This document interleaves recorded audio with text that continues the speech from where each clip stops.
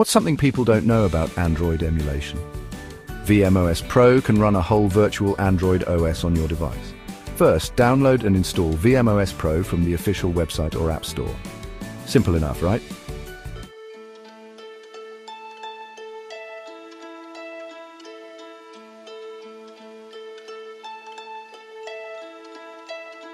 I've been dead in water for some time Picking up the parts of all my life.